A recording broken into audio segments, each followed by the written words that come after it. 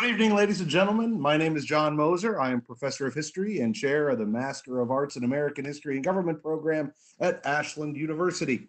Welcome to another episode of Documents in Detail, Teaching American History's webinar series in which we bring together thoughtful scholars to have a conversation about historically significant documents. We encourage all of you joining us today to participate in that conversation by submitting questions via the text, via the chat box. And please do send those questions to all of us so that they don't get missed. Uh, we'll try to get to as many of those questions as possible. Within the next week, all of you out there will receive an email with a link to, to request a certificate of participation, as well as a link to the archived video and audio from today's program, which we hope you will share with your friends via social media.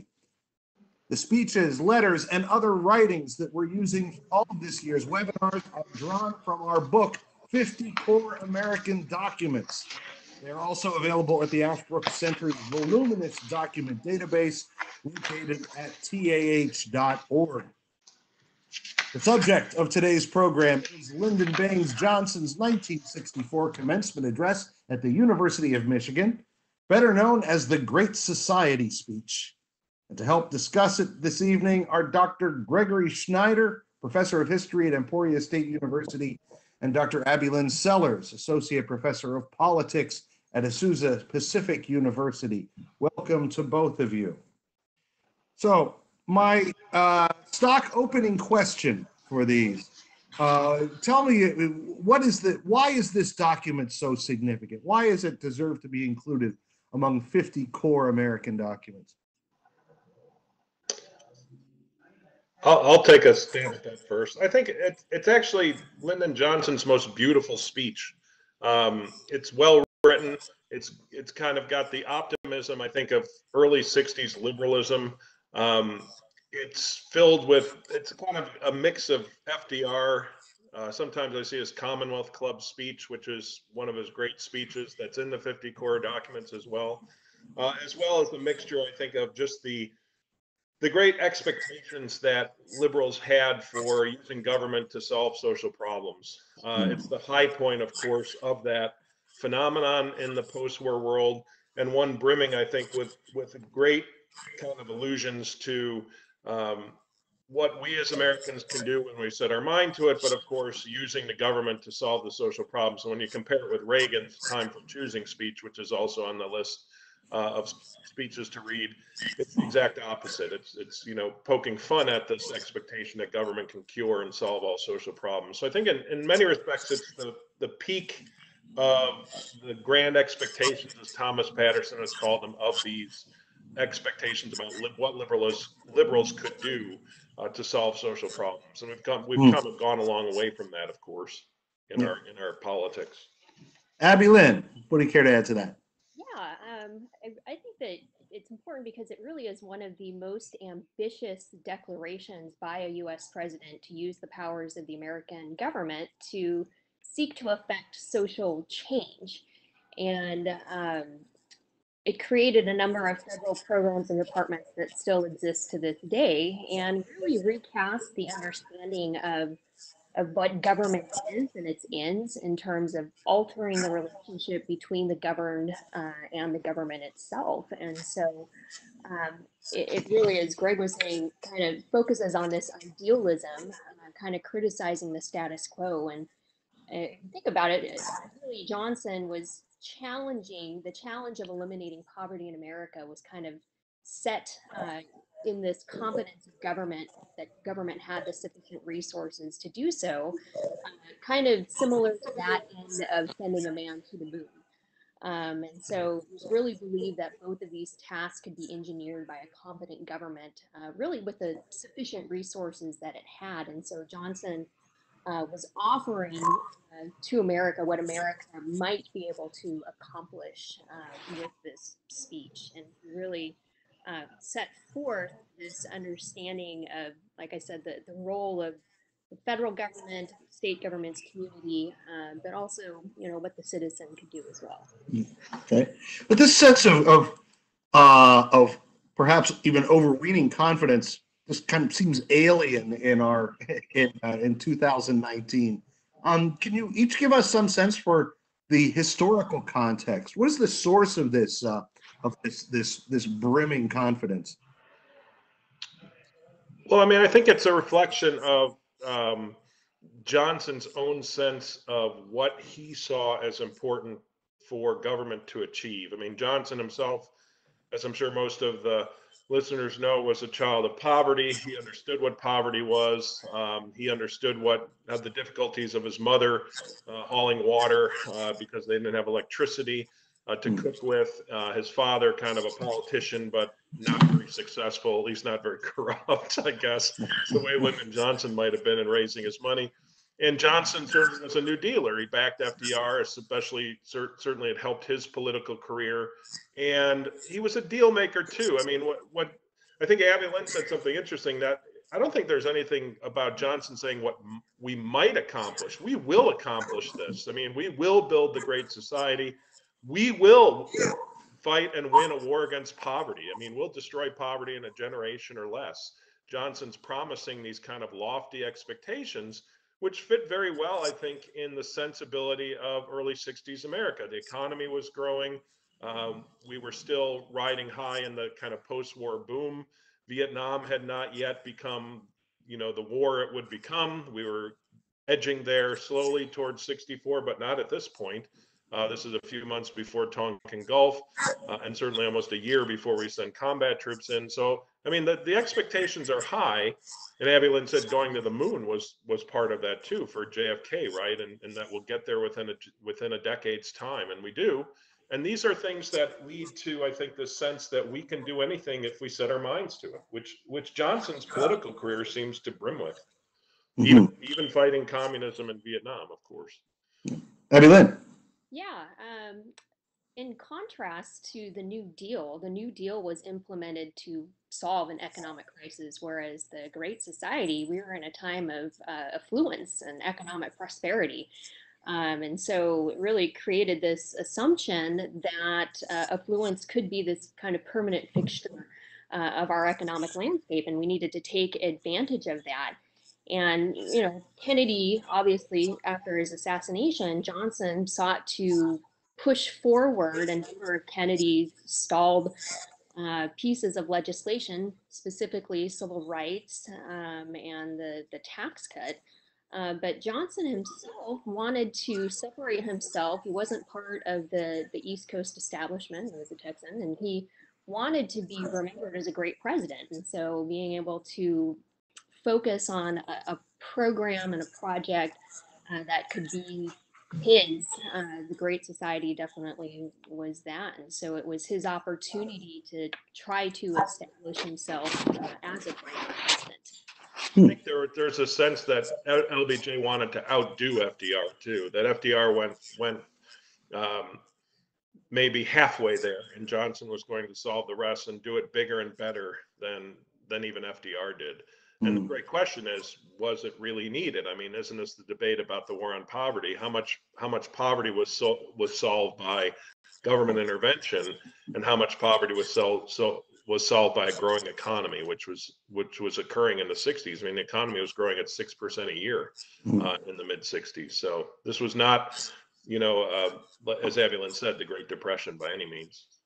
Yeah, so uh, I, I mean, I imagine the, the the poverty rate had had dropped considerably just in the last the, the five years previous to this speech. Yes.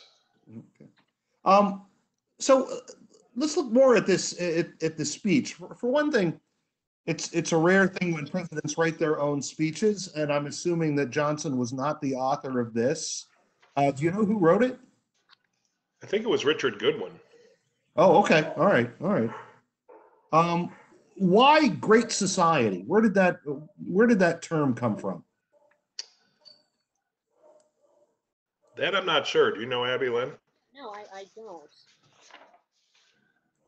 Well, um, is there any significance to the fact that this speech was given at the University of Michigan? Well, he's in he's enjoining youth, of course, Yeah. um, to join him in this. I mean, the last the last page of the speech goes on and on about will you join me? And And when you watch it on YouTube, um, you know, Johnson's not the greatest speech giver in the world. Um, so you can you can will you join me? And he kind of leans in and he says, "Will you join me in building this great society?" And uh, I don't know how many youth young people he convinced versus a JFK who was certainly of the same perspective and encouraging young people to ask not what you can do, what you your country can do for you, but what you can do for your country. I mean, but Johnson is certainly appealing to young people um, to build the great society. I mean, these are the people who are going to be the, the leaders of the up and coming generation, and he's certainly appealing to those people to to take on the task. Mhm.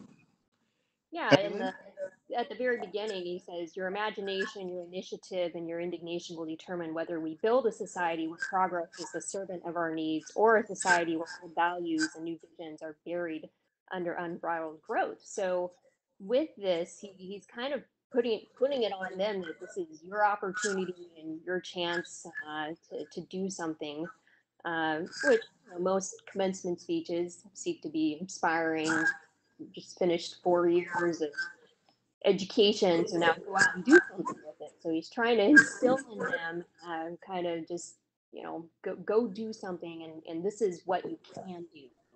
Uh, Mm. this great experiment of the great society, and, and really that's it kind of was that because they hadn't been done at this scale prior to this time. The New Deal created one social program uh, specifically in the 1935 Social Security Act, Social Security, uh, focusing on workers' retirement disability, uh, aid to abandoned uh, children and orphans. But this, this is going to attack all areas of poverty um, in, in, in its entirety, in a way. And so that was quite a, a broad goal. Yeah. Get on those college graduates to go, go, go do it. Yeah. It's an, Yeah. one of us, one of the keys to the Great Society is education, of course.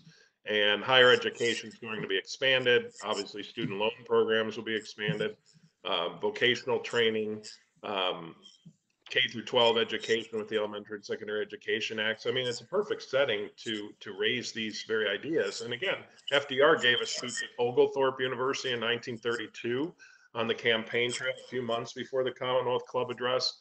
And he's basically saying we, we have too many teachers and there's not enough jobs. And this is a very different context where Johnson's saying, you know, he'd say some similar, we have too many teachers who are poorly paid. And we have some good teachers who, well, we have good teachers who are poorly paid and we don't have enough good teachers uh, in, in marginal situations. I mean, he's calling for these young people to take a service role in a way, whereas Roosevelt 30 years earlier is kind of calling on them to say, you know, you're going to graduate and have a difficult time in this economy. I mean, it's a different mark, mark different thing, and the government's going to come in and aid education now, um, unlike before. The federal government, I should say. I, I- certainly see the uh, rhetorical flourishes in this speech that harken back to uh, JFK's inaugural, the trying to trying to work the students into some kind of a chant, which uh, you know I don't know how successful he he, he was in that. I, I have not seen the video, but I'm wondering if there isn't some significance to the fact that this is uh, it's not just any university. It's it's a major Midwestern land grant university. Uh, it's not, he's not in an Ivy League school, for uh, for example. What do you think about that? Well, he's appealing to the, the common person, so you don't have to be an Ivy Leaguer. You, you can, a norm, normal person, a normal citizen can enact change. They just have to have the, the will and the desire to do so. And so I think that was part of the appeal is that you as a normal citizen, uh, you you can you can do this. Yeah, he, he even makes that little joke about uh, if I were here tonight, I'd see students living the good life, right? yes. Uh, who was the in, inspiration for all of this? I mean, I, I- obviously LBJ was a man of of liberal principles going way back, but but but uh, who were the architects of these of these ideas and these programs? I mean, I think when he gets, I mean, he he is. I mean, in many respects, I think this is Johnson's um, sense. Um, Johnson, who realized that as somebody who came from very modest means, um, poor, raised poor, didn't have a lot of money, uh, was able to, to achieve a college education at uh, the Teachers College in Southern Texas. Uh, education to him was a ticket to opportunity.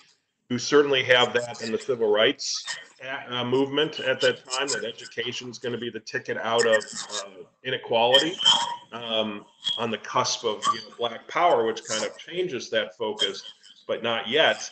Um, you know, these are kind of ideas that have been swirling around in the liberal orbit for some time, and the government has to support those sorts of things. Uh, Johnson understood what poverty was. He, he, he, I think he said at one time that you know Kennedy's Appalachian Redevelopment Act and some of the other things that the Kennedy administration, they're the ones who started the war on poverty, but Johnson continues it, as he says in his speech after Kennedy's death. So I think a lot of the ideas for improving you know, educational opportunities, the damaged cities and other things are swirling around in the liberal kind of um, intellectual orbit. Certainly, uh, Michael Harrington's The Other America, which is a huge influence on it. Uh, Rachel Carson's Silent Spring, to a degree, which is a big influence on environmental activism. And I think these things also are important to Johnson, who sees these as very much connected to the type of society that government could build. Hmm, hmm. Abby Lynn, anything to add?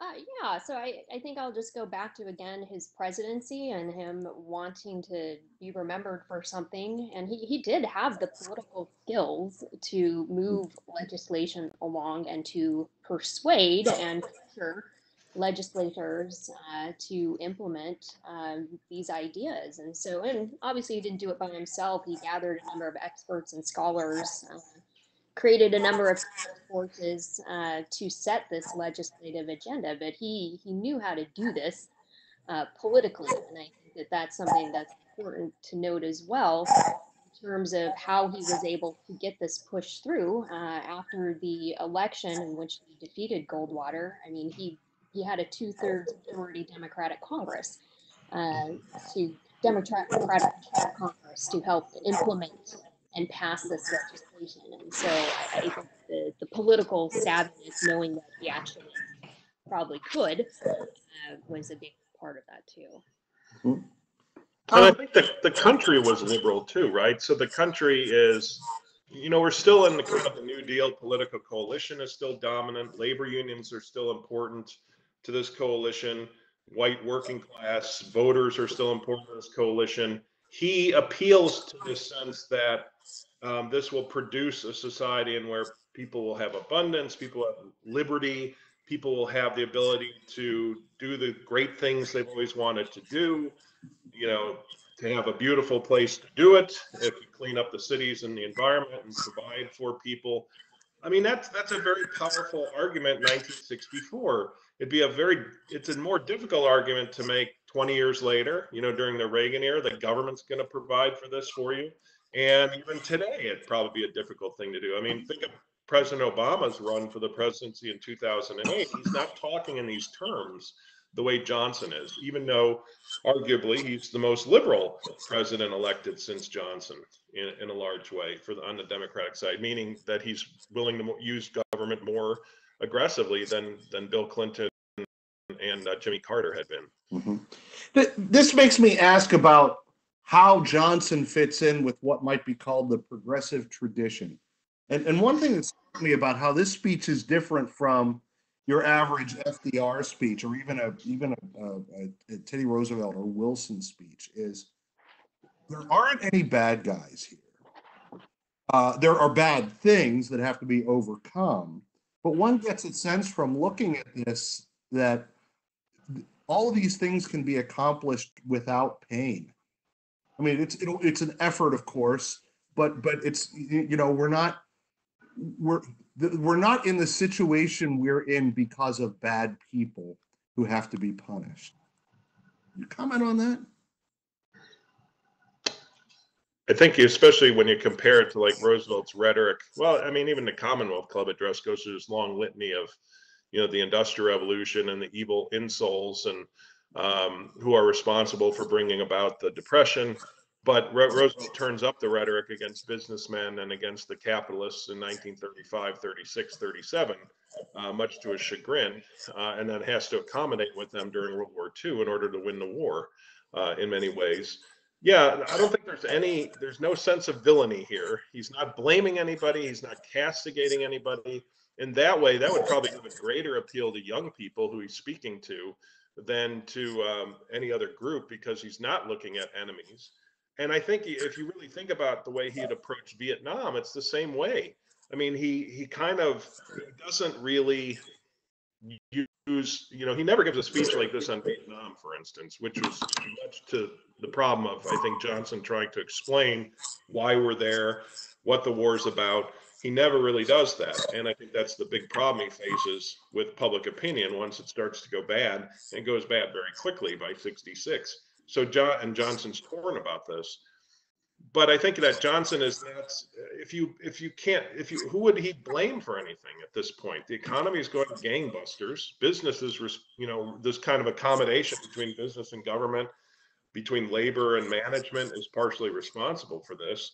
We don't have the international competition yet. It's on the cusp of that, coming from Japan and the common market that we had in the 1970s. So who do you blame? I mean, that's that might be the selling point. You don't have to blame anybody. We have all of these problems. Let's overcome them.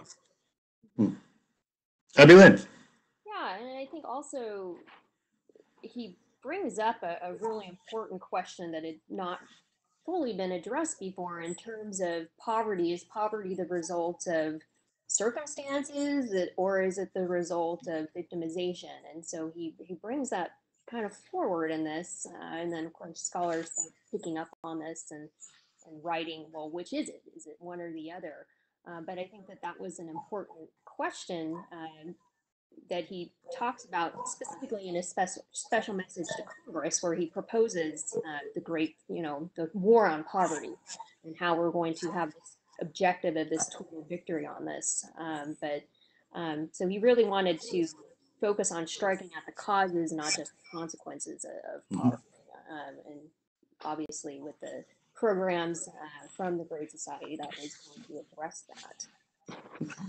I guess if you have to say anything, the enemy is poverty, and who yeah. could be against doing something to help poor people? That appeals to American sense of justice, fair play, the spiritual side of you know Jesus addressed this about helping the poor. The enemy is inequality, um, and certainly the civil rights movement had to overcome inequality in order to get to that point. But again, who could be against who could be against inequality? Who could be for inequality? I mean, it's very difficult. These are not enemies that are, you know, as easy to castigate, but they're easy to to draw. I think people around and say we have to fight against these sorts of things and injustice. Uh, n- nothing in this speech seems more out of step with the progressive tradition than the call for tax cuts. I mean, that was FDR's rhetoric calling for raising taxes, certainly on the wealthy. So it was Teddy Roosevelt's and uh, and, and Woodrow, uh, Woodrow Wilson's. Why were tax cuts so important to uh, to Johnson? Well, Abby Lynn, you want to go first? Think, uh, yeah, um, it was obviously something that was in the pipeline already from the Kennedy administration and Johnson felt that it was very important to push forward uh, a number of Kennedy's initiatives uh, after he was assassinated, and that was already in the pipeline. It wasn't one of the things that were kind of doomed. Um, and so he really felt that in terms of we've got to carry on Kennedy's legacy, so this is just a, a simple explanation uh, to push that through because it was already in motion. Well, going through the more thorough explanation on that. Mhm. So this was, Yeah, when he gives, when he gives his speech, let us continue after Kennedy's death, tax cuts are the first thing he mentions. And then the second is civil rights and the third is poverty, I think, or the war on poverty. So, I mean, yeah, those are Kennedy products. He's not, he gets it passed in 1964, but then he doesn't do another thing about tax cuts again. I mean, this is not Johnson's issue. Uh, it's inherited from Kennedy, and there's a great debate whether it was the first supply side tax cut that's that's come out recently. Um, you know, in the same sense that Reagan and later Bush's were. Um, I mean, that's not Johnson's issue. So he gets it passed, but that's all he does with it. He never brings up tax cuts again hmm. in the rest of his presidency. And he, he's faced with the prospect of having to raise taxes in order to pay for the war, which is something he doesn't want to do. Yeah. Yeah, I- eventually I want to do, I want to talk about the relationship between the Great Society and the war, but, but before we, before we do that, civil rights, it, it, it gets mentioned in this speech, but it's certainly not front and center. This is not fundamentally a civil rights speech. How does civil rights connect to the, uh, to the Great Society? Certainly, civil the Civil Rights Act at the time is in the hopper. Um, by April of '64, he signs it in June, doesn't he? I think it's still being filibustered, I believe, in the Senate, uh, if I'm not mistaken, um, or they just broke the filibuster, so it's coming to a vote soon, I believe. So, I mean, in essence, he's appealing. You know, he, where is he speaking? I'm sure the University of Michigan graduating class was probably 98% white. Um, so you so if you're appealing, I mean, and most of them would probably most of the young people there would probably been very sympathetic to the civil rights movement. He could have given a civil rights speech if he wanted to, but that's a campaign address. I mean, he's running for election on his own. Civil rights is a crucial part of what the Great Society is all about, but um, it's already being addressed. So why talk about it when you can talk about these other goals that are really issues about the election? Mhm, one? Yeah, I agree about it being a, a campaign issue, but also again a, a carryover from the Kennedy administration that was kind of more on on the doomed list. But uh, really, the passage of that and then the Voting Rights Act of '65 really kind of paved the way for Johnson to uh, do his Great Society initiatives. And so he had to get those through first. Um, in order to set it up to push forward all these social programs, creating new federal agencies and other social projects. So it's, again, I see it as him attempting to help the country heal in a way uh, and carry forward Kennedy's agenda. Of course, we know that the Kennedys were not great fans of Johnson. Uh, that that that JFK saw him as useful in bringing the South along, but but didn't have didn't have much use for him. Uh, Bobby Kennedy uh, hated his guts. How much of this was LBJ trying to show that how he could succeed where Kennedy failed? I think it's just LBJ's bigger than life sense of himself as a politician who will deliver. So I mean, partly I guess it's that, John, in the sense that you know that the Kennedys started the war on poverty. I'm going to finish it.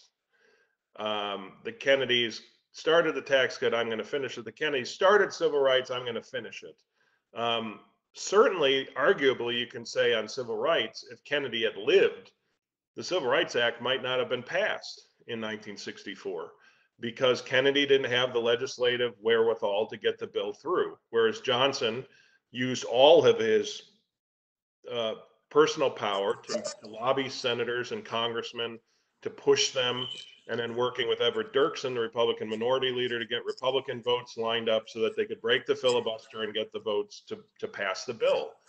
Um, Kennedy lacked that kind of legislative ability that brokering that made Johnson, as Caro called him, the master of the Senate. Um, I mean, certainly he was an incredibly impressive politician. There's no doubt about it. He could he could push people to his will, but it's his will. I mean, I think maybe the maybe if you look at that war on poverty speech and say Johnson is following up on what Kennedy started, and you could use that argument and say, yes, this is probably Johnson trying to say I'm going to do better than that little squirt that I replaced in office, which Johnson never much liked either, of course. But the um, Great Society is his and his alone. Kennedy never proposed anything this ambitious. Kennedy was rather conservative on on social and domestic policies in certain ways, and so Johnson's uh, creating his own kind of sense of what liberalism will be under his watch. Hmm. Um, the uh, we talked some about the the uh, educational the role of education in this, which is no surprising given Johnson's background. Uh, the other two main areas that he mentions are urban renewal and uh, and the environment. What makes him focus on those things?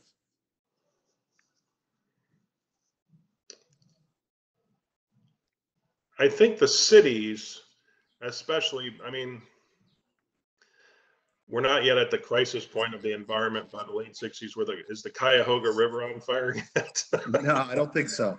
Is Lake Erie dead yet? Um, is, you know, the Hudson River dead yet? I mean, all of this stuff kind of starts to happen in this era. I mean, you have a, almost a century of industrialization, you know, playing a role in destroying, uh, diminishing the environment. Uh, he he talks about in terms of you know we need we have too much traffic, interesting kind of thing. So you know one of his great creations is the Department of Transportation, which people wanted, and certain transportation policies like public transit, which was really produced by Johnson and the Democratic Congress uh, in a large way. Uh, the building of the DC Metro, which was one of the great accomplishments of the Great Society, for instance. All of these sorts of things are products of they they tie together. I mean, they beautify the cities, they make it livable. So when he says, you know, um, on page two of the document, the Great Society is a place where every child can enlarge, can find knowledge to enrich his mind, to enlarge his intellect. It's a place where leisure is a welcome chance to build and reflect, not a feared cause of boredom and restlessness. It is a place where the city of man, son of Augustine, serves not only the needs of the body and the demands of commerce, but the desire for beauty and the hunger for community. I mean, that's beautiful language. So Goodwin deserves an A plus for writing it. Uh, it's too bad Johnson's delivering it because he's not the best deliverer. But nevertheless, it's, it's a gorgeous sentimentality of what you know we can build. We can produce cities. So I, maybe it goes back to like the city beautiful movement of the progressive era. You know, building cities that are livable places that will inspire um, both commerce and culture, will help the poor, will help others uh, to have an enjoyable place to live. And of course, the opposite is true in most cities by the 1960s. Tenement housing, slums, all the other problems that cities are faced with, pollution. Abby Lynn. Yeah, uh, echoing what uh, Greg said in terms of the, the slums, the Department of Housing and Urban Development was created as part of Yeah. the Great Society. So, how do you lift people who are living in these slums out of poverty? Well, we can give them housing, housing, uh, offer it, whereas um, prior to that, that didn't exist. So, it was, you know, this start of you have to go locally uh, where these problems are and uh, attempt to had a, a model cities kind of agenda how to revitalize them uh, because if you start there then that's going to uh, make a, a better environment for people to live and uh, help lift people out of poverty create jobs. Um, but uh, really the focus of it in terms of giving this handout to people a means of way that the federal government could be involved. But what's interesting is he talks about in his speech uh, about this new federalism um, or creative federalism, uh, saying that the solution to these problems does not rest on a massive program in Washington, nor can it rely solely on the strained resources of local authorities.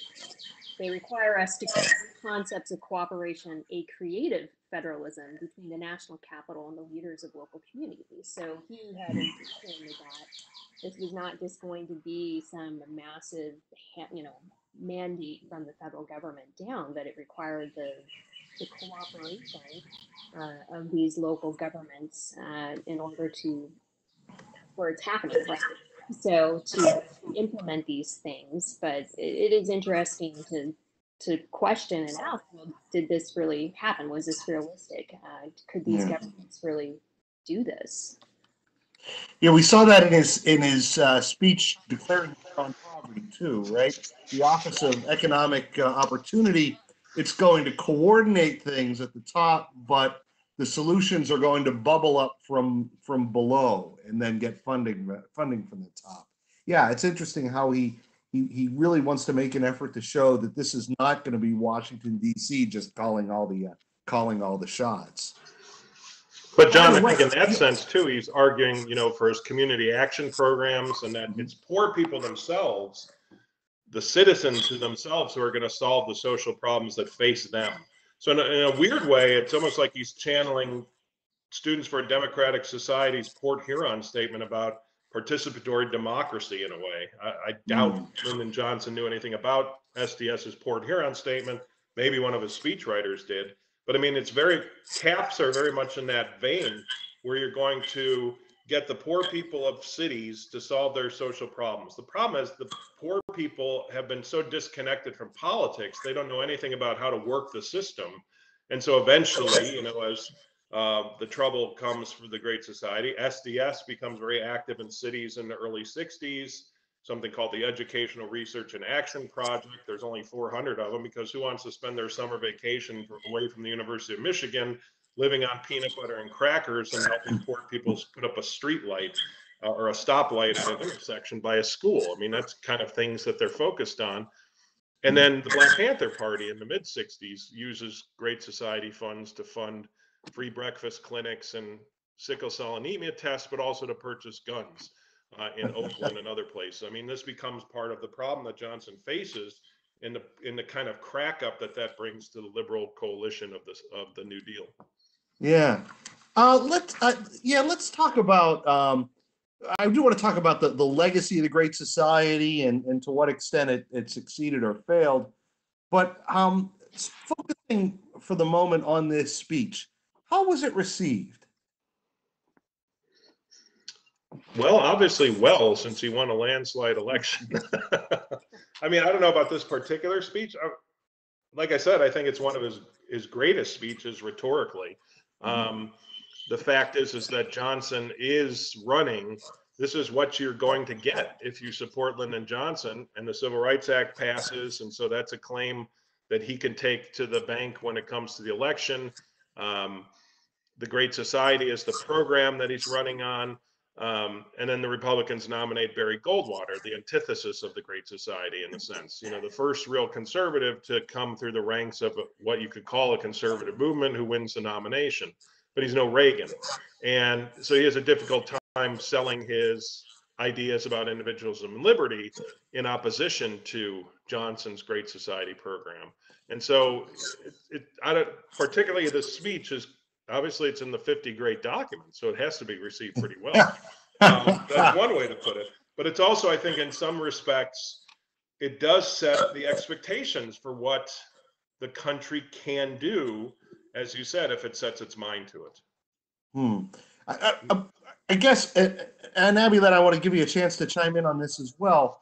But I, I'm wondering to what extent Johnson's resounding electoral victory in 1964 is a result of Johnson's agenda or the fact that Goldwater just seems like he's way off on the fringe, right? In, in, in a way, you could argue in 1964 that Johnson is the conservative candidate because he is the custodian of, of not just of his own ideas, but he's the custodian of the New Deal. Mm-hmm. As Goldwater's out there saying, "I want to privatize Social Security and and and and, and really roll back these things." What do you? What do you? I, would like to hear what you both think about that. Yeah, no, that's a great question, and I I would think that Goldwater was considered, well, they painted him as such an extremist. Um, so it's, I, I don't know. I haven't looked at like polling or anything specifically from that period, but I think that because he was Goldwater was depicted as such an extreme, well, you know, with the Daisy ad, and he's gonna, you know, we're gonna go into nuclear destruction if you elect him as president. And so I think the the fear of potentially having him versus Johnson, who had already been in office and had carried the country through this great tragedy, um, JFK's assassination. Um, I think a lot of it was the the depiction of, of Goldwater as just one who would uh, destroy America, more or less, if elected into office. But I think there was a lot of optimism and idealism with the Great Society rhetoric uh, mm-hmm. that had been sold to the American public. Yeah, it's the first the first conservative election in a sense that a conservative slash libertarian, as Goldwater can be seen, wins the major party nomination. So, I mean, you can say there were conservative nominees before, but this is the product of the movement now. Goldwater's kind of in the front of that politically. His book, Conscience of a Conservative in 1960, excites young people, leads the formation of group like Young Americans for Freedom on campus, which Michigan had a chapter of. I don't know if any of them were in attendance for the Great Society speech, probably, but it's nothing like the campus, you know, the campus activism today. Um, which is well organized and kind of well funded. These are these are young people trying to fight for conservative values, most of which are shaped by Goldwater, in a sense that he's in favor of uh, limited government, in favor of victory over communism, which Reagan talks about in his time for choosing speech. Um, but Goldwater is a bad bad candidate to present those ideas. He's crabby. He knows he's not going to win there's no way that the American people are going to go from Kennedy to Johnson to Goldwater in a year's time. And any Republican running would have faced that same problem, whether it was um, Nelson Rockefeller, who was impossible to nominate because he just divorced his wife and married a young woman uh, who left her young children to be with him. Uh, and or William Scranton, who was governor of Pennsylvania, or George Romney, governor of Michigan. I mean, all of these people had no chance against Johnson. Yeah. I don't even know if it would have been closer if they would have been the nominee. I think we're we're at, we're at the fringe of the breaking apart of the liberal coalition, which the 60s brings to bear, and it's Vietnam that plays a role in it, but it's also the Great Society too, and its endorsement of entitlement, which replaces opportunity eventually within the constructs of liberalism. And I think it's also the fracturing of the youth culture too, with the anti-Vietnam War movement and the counterculture years away. But all of this coming at once is blamed on liberalism unfairly. But ultimately, this is this is who's in power and this is who bears the blame for it. And it's Johnson who gets us involved in Vietnam at the same time he wants to fight a war in poverty. And Goldwater you know, just as an awful candidate. He's he says we're going to privatize Social Security, but there's no study on this. There's no policy behind it. He says we're going to privatize the TV, TVA in Tennessee. You know, he's crabby. He's a curmudgeon. He doesn't even want to campaign half the time. Um, the speech he gives, extremism in the defense of liberty is no vice. I mean, coming a few months after an extremist killed the president. I mean, not mm. exactly the greatest choice of words uh, to use. I mean, so in that sense, he binds himself with these extremist elements in 1964, which come to be under the shepherding of Ronald Reagan and others, the basis for conservative victories later. My favorite Goldwater story uh, comes out of Rick Perlman's uh, Rick Perlman's book, which which I recommend to you. And Perlman has his hobby horses, but but but this is a it's a beautifully written book mm-hmm. uh, about the 1964 campaign uh, some soda manufacturer produced a uh, a soda called Goldwater, and uh, Goldwater makes a campaign stop where this where where this this place is based. Somebody sticks a can of it in his hand. The cans are rolling. He takes a sip of it. and says, "This stuff tastes like piss." it's yeah, that's Goldwater. Yeah, I want to press on something you said before the, the transition from the theme of opportunity to entitlement. I'm wondering if that's something you both might might say a bit about a legacy of the of, of the Great Society. Abby Lynn, you want to start? Sure. It was um, definitely the establishment of these social programs that the government it was the government's responsibility to provide for the have-nots and the creation of Medicare, Medicaid, Head Start, food stamps uh, was a product of the Great Society. So it was really this this shift.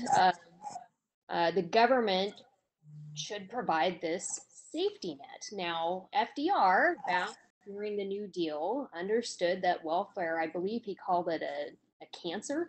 Um, that it was not healthy and it was not good for people to become dependent upon this type of giving or welfare. But the Great Society really shifted uh, by creating all of these programs the notion of what the government's responsibility is in terms of providing uh, this safety net. And so the safety net only continued to expand and grow uh, following the Great Society until welfare reform in 1996, uh, where and it started a little before that in terms of realizing that we can't continue to give out entitlements uh, without having these recipients do something in return for it, such as work. Um, but really, the Great Society can be pinpointed to establishing entitlement, uh, patriarchal programming that the government is going to provide. And so the safety net over time turned into this, it was probably an unintended consequence, this hammock uh, where mm. people could indefinitely stay on welfare, no time limits, uh, no requirements really to get off. You just had to qualify. Um, mm. so, so, that and Reagan, Reagan amazingly diagnoses it right away. I mean, he says, you know, the Great Society has all these job training programs. Um, we're going to put people back. I mean, Johnson alludes to the fact in the War on Poverty speech that we're going to put people back to work in CCC like camps, which is very, very much a part of what his goal was. And Reagan says we're spending, you know, one third, what, 37% of um, taxes are spent on, you know, the well, Great Society welfare programs. It's eating up the federal budget. Um, I mean, this is very, this is the start of this conservative argument, which lasts in some respects up until recently. I don't see, you know, Trump as a budget cutter, but certainly the idea is that um, you have to rein in federal spending, especially when it goes to people who are unproductive, becomes a constant kind of trope of the conservative movement after this time. And Reagan sees this as early as 1964. Um, and we're we're still not really into the Great Society yet. We're just into the war on poverty. Um, that those programs have been passed, but not the rest of them. Not the things that Abby Lynn is talking about. You know, expansion of AFDC programs and food stamps and the housing uh, subsidies and all the other things that um, that Johnson expands, plus Medicaid and all the other things that come in 1965. So I mean, that that that debate is already starting amazingly as early as the election of Goldwater in 64. But it's not Goldwater who makes the case, it's Reagan who makes the case in a time for choosing. Yeah, yeah. in time for choosing speech, he, he does say a government bureau is the nearest thing to eternal life we'll ever see on this earth. Mm-hmm. So he knew once created, it wasn't going to go away. Right. So let's um let's talk. We're getting near the end of our time. Let, let's talk about the legacy of the Great Society. Why why does it why does it matter? Why what elements of it are still with us today? Uh, who cares about the Great Society?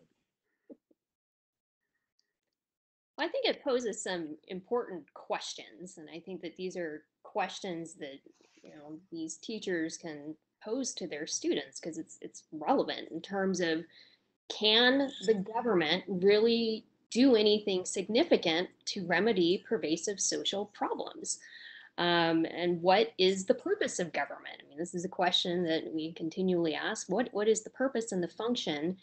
Uh, and when the government seeks to take on more of a patriarchal responsible role that a citizen can have, uh, where does this place the role of the citizen? So, is the citizen stripped of certain responsibilities and obligations to society uh, when the government takes on more responsibility? And not just the citizen, but talk about local um, and establishments such as the church, for example, uh, with mm. poverty. I mean, it was the church's responsibility back at the time of the American founding to care for the needy, and the community to care for the needy and that's that was societal expectation but the great society new deal great society moving forward really shifted whose responsibility is it? Uh, is it the government's or is it the citizen uh, before before we go on to, to greg um, you mentioned the church did did churches express skepticism of this was there concern that that this is taking away from something that had traditionally been a, a, a, an ecclesiastical function? No, I don't think so. I mean, I think in many respects, the um, from what I understand of the Catholic, certainly the Catholic Church was solidly democratic in those mm-hmm. days. Um, you know, so most Catholics would have been certainly New Deal Democrats who would have supported the Great Society. labor union members, working class, and even those going to college, with a few exceptions, who who join organizations like Young Americans for Freedom because of their anti-communism, believe that the government should involve itself in solving social problems. I mean, this is a social edict going back to, um, I'm going to blank on the Pope, Pope Pius, I think, in the late 19th century or early 20th century. Um, Hmm. Um, and I think Yeah. that evangelical churches yet aren't really organized politically. So the the so-called religious right is a decade away, and they would favor a much more individualist solution than statist solutions, of course. But those people aren't organized in a way, or they're organizing in the 60s, but against the counterculture and against the secular revolution and against the immorality they see of the 60s generation not specifically against government yet. So I, I, would say religion probably doesn't have much of a problem with what Johnson's doing. There's not it's not a war on religion. It's not even taking away the responsibilities. It might be adding to the sense that of the mission of Christ that you have to solve the problems of people on earth. You know, you have to address yourself to solve the problems of poverty, and this is what a, a good Christian should do. Almost like the social gospel, you know, emphasized in the progressive era. Mm-hmm. Abby Lynn? Oh yeah, well, I think you, your question is great. Looking at today specifically, and what does the church do today? And I don't have any empirical evidence to back this up, but I would make an argument that the church probably does. The evangelical church probably does less uh, today because the government does more, and this is just you know over time has has shifted and changed. Um, but yeah, I think back in the, in the time it wasn't probably as much of a, a, a problem. Uh, but today, definitely, I think that uh, the church is it can't compete with the federal government in terms mm-hmm. of dollars. Churches are, you know, trying to keep their doors open. So how can they funnel, you know, their funds toward toward the poor, which the church is called to do? But hmm. so the Great Society, uh, a, a, noble experiment that went wrong. Uh, was it ill-fated from this from the start. Uh, help me understand what what happened to the what happened to the Great Society and why. I think you have to separate some of its threads. So I think obviously nobody would say that the civil rights, voting rights, the emphasis placed on racial equality was, um, unless you were a, a Klansman in the mid '60s, was a problem. Right? I mean, this was this was necessary to redress the problems that developed from slavery and segregation. The and controversial, of course, no doubt. I'm not trying to separate. I'm not saying to say that this was easy because it wasn't. But this is the great one of the great achievements, and I don't think historians of any bent politically would argue against that. Oh yes, it was better to have segregation. Um, I don't. I don't think there's a historian writing today who would make that argument. The war on poverty, uh, much more controversial because of its em- emphasis on state-based solutions, as Abby said, and divorcing it from the local uh, areas and the expansion of entitlement programs, which become then bureaucratized. And you had a moment in the 90s with Bill Clinton and the Republican Congress passing welfare reform. But I guess because of the Great Recession, we're back to the levels of welfare recipients we were that you know existed before that reform in the 90s. Um, the rest of the programs, some of them too quickly conceived and put together. I mean, the estimates for what Medicare and Medicaid are cost will cost mm-hmm. the country are just absurd. Something like eight billion dollars by 1990. It's almost 10 times that much uh, by that point. Um, certainly, the federal involvement in education has led to problems. I think Elementary and Secondary Education Act and all its attendant reforms um, certainly has made education much more expensive, uh, not necessarily better. Um, college loan programs, while allowing lots of people to go to college, we know what the problems are with that today uh, in many ways with the cost of going to college. I mean, Reagan says in his time for choosing speech that we could have sent people to Harvard uh, half the cost of what they were spending on vocational training programs. I mean, it probably is still the same. There's still something like 50 or 60 job training programs funded by the federal government. It's it's ridiculous.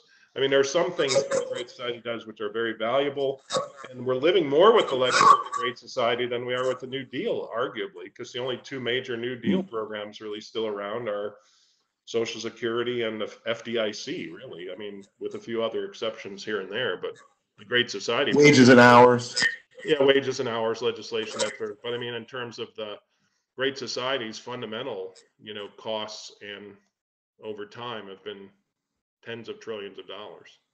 And poverty has, rates haven't been. Abby Lynn. much. Yeah, I'll, I'll just quickly add uh, to what Greg mentioned in terms of the civil rights legislation. I, I don't think that obviously that's something that could have been dealt with and handled at the local level. It, it had to be handled at the federal level uh, in order to enact that type of, of change. And so I think that was a very positive, uh, positive legacy uh, of the Great Society was the passage of the Civil Rights Act, which just couldn't have been done without the federal government. Um, and uh, very briefly, we- have a, an audience of uh, about 30 uh, out there, and I think probably most, if not all, are uh, uh, are, are teachers. Um, can you give a, a quick pitch for why they should squeeze into their busy curriculum uh, a, uh, a, a, a discussion of the Great Society speech in their in their history classes? Um, the speech itself? Yeah. Or just the, the discussion of the Great Society as a whole? Go with it any way you any way you choose. Well, I mean, I think the I, I think the speech is worth reading because it shows this kind of optimism about that Johnson had about the future and about how government could solve problems, and that in itself is worth reading in a sense of how we fundamentally view government differently today.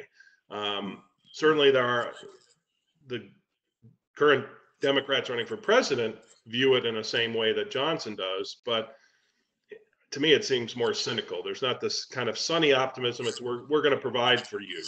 Johnson's not saying that so much. We're going to provide opportunity. I mean, this is very much in vein with what the New Deal was selling to in the 1930s. That you'll have the opportunity and you'll be secure because of what we're going to provide for you, so that you can do what you achieve and what what you want to achieve in life, and you're not going to be blocked by that. Um, that's important. I think it sets the stage very clearly for at least this combated period when you pose it with Reagan between the development of how liberalism goes after the Great Society and how conservatism develops too. Abby Lynn. Yeah, I, I also agree with that. And, and helping your students, uh, again, ask the question uh, what, what are the responsibilities and even what are the limits of government? Um, government, I think White House, the White House aide Joseph Califano, who worked under Johnson, even admitted that we did not recognize government not do it all. Um, and so, but looking back on this, yes, this is filled with optimism. Um, and there are things that we can do as citizens, but what what is the responsibility of government? Uh, and what is the role of a citizen and what are we called to do and how can we fulfill those obligations uh, in our respective roles? And so I, I, just again go back to how, how can we as a citizen um, help those who are is, is it possible for us to to do that on our own without any direction uh, of the government programming? Um, but we're such an individualistic society now. We're not as communal uh, as we were in the past. But that's something to, to think about and have your students uh, to think about uh, in terms of what, what they can do themselves and what role they have. All right. Well, I want to thank uh, both of our panelists, Greg and Abby Lynn, uh, for uh, this uh, enlightening conversation. And as a reminder to all of you out there, you'll be receiving an email within the next week that email will include a link. If you want a certificate of participation, all you need to do is click on that link. Uh, there will also be in that email to the archived webinar. We do hope that you will share that with your colleagues and also share it on social media. If you have enjoyed this evening's webinar, I hope you'll consider taking an online graduate course in our Master of Arts in American History and Government program. Both Greg and Abby Lynn teach in that program. I am the chair of that program, so I'm uh, uh, I have a, a, special interest in that. Uh, you can find more information about online course offerings, as well as all sorts of other resources for teachers at teachingamericanhistory.org. Tonight's webinar is the final edition of Documents in Detail for 2018-19. We now begin our summer hiatus, as many of you will also be doing. Uh, we will be returning on Wednesday, September 25th. Our discussion at that time will be Federalist One. We don't even know who the lineup is going to be yet for next season. Yet we know the documents, but we don't know who we're who's going to be who the discussants will be. But I hope that uh, you'll have a terrific summer and that you will all be back to join us on September 25th to talk about Federalist One. So once again, thank you to all of you and have a fantastic summer.